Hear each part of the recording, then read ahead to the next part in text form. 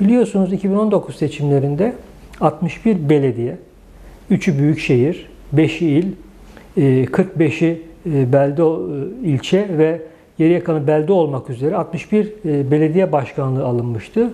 E, Yanlış anımsamıyorsam bildiğim kadarıyla şu anda 4 ilçe, 2 belde belediyesi ya da tersi olabilir. Şu anda kayım atanmayan belediye. Yani halkların iradesine devlet tarafından el konduğu bir dönemi yaşarken bir yandan da halklar kendi iradelerine bu süreçle, ön seçim süreciyle sahip çıkıyorlar. Bu belediye başkanları bizim irademizi yansıtıyordu. Onları biz seçtik. Sandıktaki irade bizim oylarımızla ortaya çıkan iradeydi. Siz bunları gasp ettiniz. Ama biz yeniden bu iradeyi gösteriyoruz diye esasında halkların doğrudan doğruya kendilerini karşısına alan bu iktidara karşı önemli bir yanıtı olarak da e, görmek gerekir. İrademiz kendi ön seçimimizdedir. İrademiz kendi adaylarımıza yeniden 31 Mart'ta gündeme gelecektir deniyor. Bu devlet şunu görmeli. 61 belediyenin altısının dışındaki atılan kayyum ma karşı verilen bir yanıttır. Ön seçime olan bu ilgi, bu katılım. Bu irade koyuş. Yani devletin halkların iradesini gasp etmesini halklar reddediyorlar. Ve halklar sadece reddetmekte kalmıyorlar.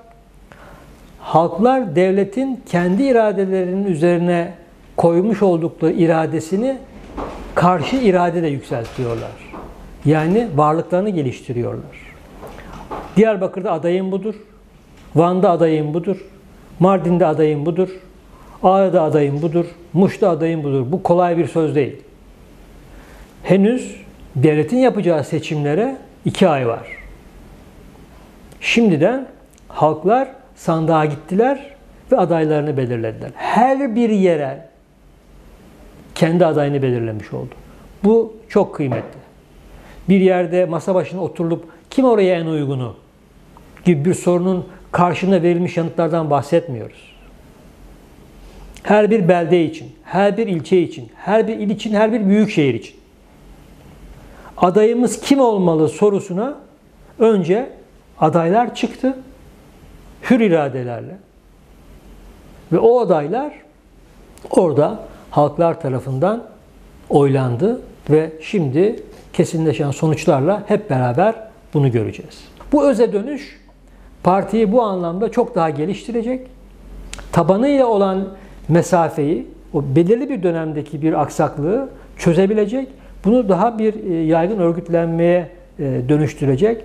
Sokak sokak, mahalle mahalle, belde belde, ilçe ilçe, il il bu örgütlülüğü yansıtacak toplumsal alanın bütünlüğünde var olabilecek bir iradeyi bileşenlerle ve o örgütlülük içindeki bireylerle hayata geçirmenin e, kıymetli adımıdır bunlar. Bu iradenin yeniden tazelenmesidir e, diye paylaşmak isterim. Hem kongreye hem meclislere sahip çıkıştır aynı zamanda bu ön seçim.